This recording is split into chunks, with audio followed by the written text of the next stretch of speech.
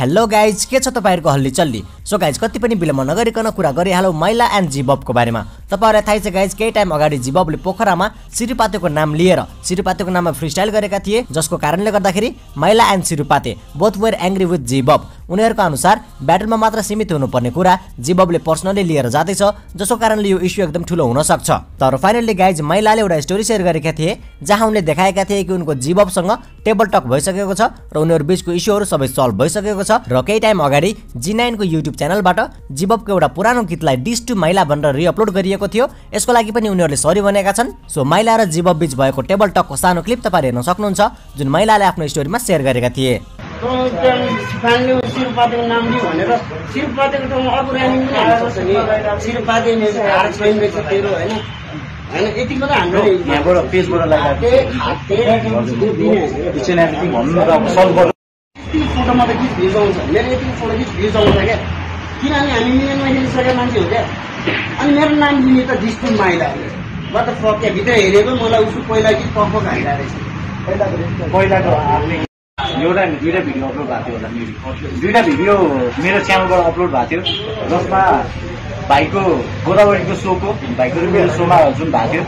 त्यसमा चाहिँ भिडियोको टाइटलमा हाम्रो ओ नमस्ते मेरो हाकिम दाई। त्यसमा चाहिँ डिस्टु माइला एन्ड सिरुपाती थियो होइन? That was a solo misunderstanding है? भन्यौँ। एन्ड त्यसपछि गाइज मैलाले अर्को स्टोरी सेयर गरेका छन् जहाँ उनले भनेका छन् guys case solve between Maila and Jibab No hits to Gbob by Myla fan community and No hits to Myla by Gbob fan community. Both are real gem for Nepop. You all know. Now we are real talk family. अनि हामी दाजुभाइहरू मिलेर Indian hip hop र international hip hop पड्काउँछ।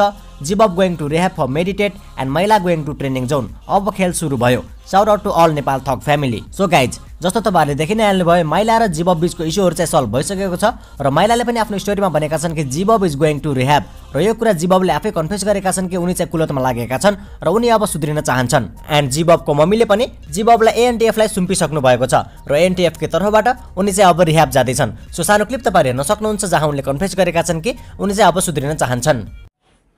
ल म चाहिँ मैले अब यहाँ अहिले सोसियल मिडियामा सब नेगेटिभ भइरहेको छ मैले धेरै गल्ती गरेँ। म चाहिँ एकदम भित्रबाट आफै सुध्रिन चाहन्छु। ऱ्याप गेमको देउता बन्नु छ मलाई अनि करियर र नसामा मैले चाहिँ करियरलाई चुज गरेर यो नसा त्याग्नको लागि म आफै रिकभरी आत्मसमर्पण गरेर म मेरो रिकभरीभित्र गएर बसेर लिरिक्स लेखेर म आफ्नो एउटा रिकभरी जोगाएर यो नसाबाट मुक्त हुन चाहन्छु।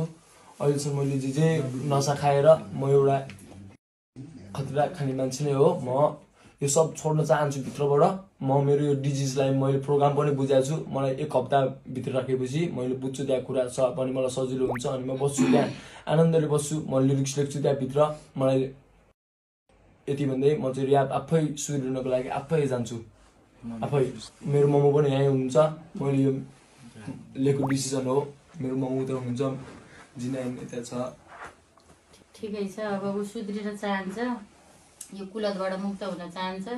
यो साथीहरूबाट छुटकारा पाउन खोज्छ भने ठिकै छ म एनटिएफलाई जिम्मा दिन चाहन्छु छोरालाई। अब सुध्रिएको हेर्न चाहन्छौँ हामी। उसले इच्छा गर्यो ब्याटलमा जानलाई हामीले जान दिएको थियो। जित्दै नि गएको थियो राम्रो नि भएको थियो पब्लिकले चिनेको थिए। अहिले पोखरा जाँदाखेरि यो गडबड भएछ। ल ठिकै छ केही भएन आफ्नो गल्ती महसुस गरिस्। त्यो राम्रो मान्छेसँग मात्रै सङ्गत गर भनिरहेको थिएँ मैले। अब तँलाई त्यस्तै मान्छे चाहिने त्यस्तै मान्छेको सपोर्ट गरिस्। अबदेखि अब त एनटिएफकै जिम्मामा भइस् त्यहीँ बस्ने त्यहीँ कमाउने त्यहीँ करियर बनाउने। आफ्नो जिन्दगी त्यहीँबाट सुरु गर्ने। अहिलेसम्म केही बिग्रे छैन विचार गर। उमेर छ अब भर्खर अब कमाउने बेला छ अब आतिनु पर्ने केही पनि छैन। त्यही भन्नु दिमाग अलिक यो हार्ड डिस्क क्रास भएको धेरै छ? बाटो भयो भने पनि यो हार्ड डिस्क फुल रिकभरी गरेर म आउँछु। म मेरो फ्यान्सहरूलाई दामी म्युजिक दिन्छु अहिलेसम्म त्यस्तो म्युजिक ओल्ड स्कुल होइन न्यू स्कुलको आउँछ म्युजिक म त्यस्तो म्युजिक लिएर आउँछु भित्रबाट। म मेरो फ्यान्स र सपोर्टर्सहरूलाई चाहिँ त्यति भन्न चाहन्छु। थियो नि होइन बिस हजारजना सब्सक्राइबर यहाँ त छ नि अब सबैले सपोर्ट गरिरहेछ आजसम्म जे त्यो जति समयको लागि अहिलेसम्म जे जति भयो मेरो गल्तीले भयो। मैले खाने गल्ती। मेन यो मबाट पनि गल्ती भएको छ मेरो खाने गल्तीले भयो। अबदेखि म भित्र गएर चेन्ज गरेर मेरो फ्यान्स र फलोवर्सहरू कुरेर बसिरहेको त्यहाँ आउँछु म्युजिक दिन्छु। कसैसँग छ त्यस्तो म्युजिक बनाएर आउँछु म? ल। म आत्मसमर्पण गरेर एकदम खुसी भएर जान्छु। आत्मसमर्पण गरेर।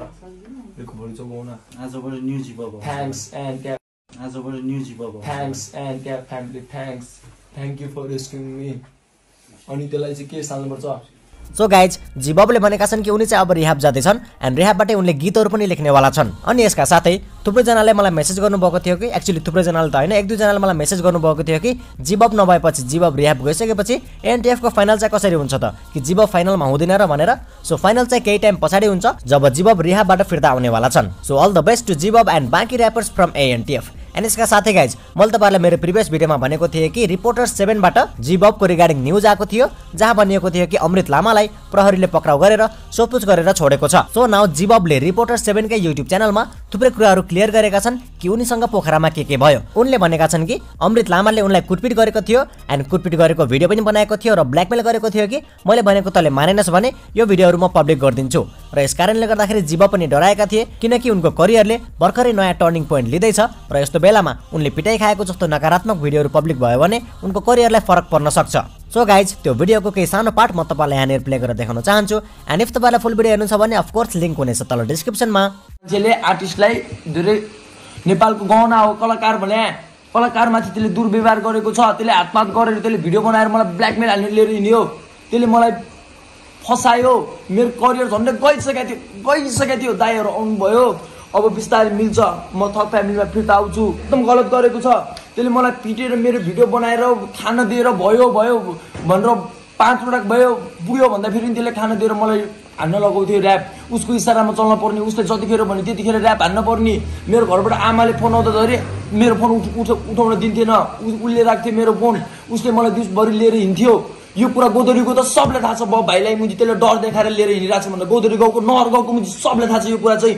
अम्बीले मुझे सुदीपलाई डर देखाएर कोही बोल्दैन तर मुझे कोही बोल्दैन। म अब बोलिसकेँ के? म अब बोलिसकेँ के? यहाँ मुझे पोखरा आएपछि थाहा भयो नि त मुझे मेरो भ्यालु कति रहेछ भनेर नहर गाउँको मुझे सबले थाहा छ। अम्बीले मुझे डर देखाएर सुदीपलाई लिएर हिँडिरहेको भनेर मुझे बोटानिकल गार्डनमा मुझे पिटेको थियो मुझे मलाई अम्बीले मुझे भिडियो बनाएको थियो। मुझे अम्बी त्यो नहरको हुन्छ नि अरू अरू भएर मुझे मेरो भिडियो बनाएको थियो। त्यसले त्यो भिडियो देखाएर मलाई अहिलेसम्म खै कोही बोल्यो? नहरकोमा कोही बोल्यो? यहाँ पोखरामा आएपछि मैले चिनी ओ म मेरो कतिसम्मको रेस्पेक्ट मेरो कतिसम्मको भ्यालु रहेछ भनेर सराउको हाकिम दाई है मैले दाइले आँट गरेर भन्न सकिएँ आज मैले मलाई कुरा भन्न लाज लागेर थियो। मैले पिटाइ खाएको छ भनेर मलाई भन्न लाज लागेको थियो। मैले बिहान हाकिम दाइले भने त्यसले मेरो लाइफ बिगारिदिन्छु तेरो करियर बिगारिदिन्छु म भाइरल भइरहेको बेला मलाई के डर लाग्यो भने म भाइरल भइरहेको छु। अहिले मेरो सानो क्लिप पनि भाइरल हुनसक्छ। अनि त्यही भएर त्यो भिडियो भाइरल भयो भने मेरो करियर जाँदैन। आर्टिस्टले मै ऊ यस्तो झगडा परेको छ पिटे खाएको छ भन्दाखेरि कस्तो हुन्छ? सो गाइज तपाईँहरूलाई के भन्नु छ? जिबबको यो पुरा केसको रिगार्डिङ आफ्नो ओपिनियन तल कमेन्ट गर्न सक्नुहुन्छ। एन्ड अब चाहिँ एभ्रिथिङ सिम्स अल राइट किनकि अब जिबब रिहाब जाँदैछन् र उनले भनेका छन् कि उनले रिहाबमै पनि दामी दामी गीतहरू लेख्नेछन् र त्यहाँबाट निस्किसकेपछि उनले गीतहरू ड्रप गर्नेवाला छन्। एन्ड अफकोर्स अडियन्सले उनलाई त्यत्तिकै माया दिनेछन् जति उनले अहिले पाइरहेका छन्। बाँकी तपाईँलाई यसको रिगार्डिङ के भन्नुहुन्छ गाइज तल कमेन्ट गर्न सक्नुहुन्छ। एन्ड यो भिडियोलाई यति नै थियो। म फेरि पनि तपाईँहरूको माझमा दामी दामी भिडियो लिएर आउने नै छु। त्यतिन्जेलको लागि आजको भिडियोबाट म बिदा माग्न चाहन्छु। हस्त जय नेपाल नमस्ते टाटा बाई